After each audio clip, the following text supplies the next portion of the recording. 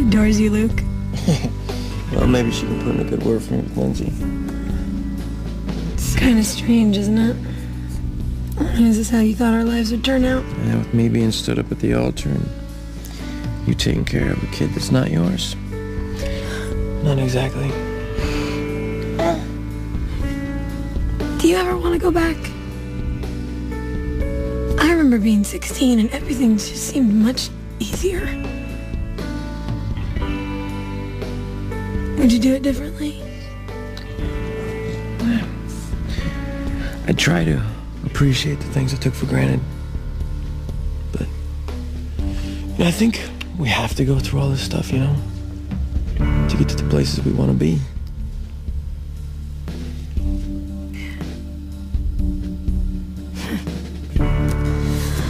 Oh, I should go.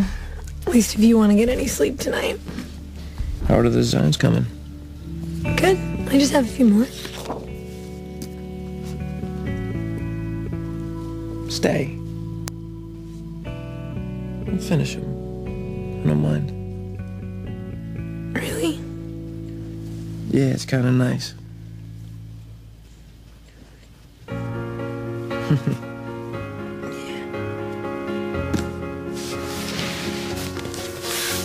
Sometimes when you're young, you think nothing can hurt you.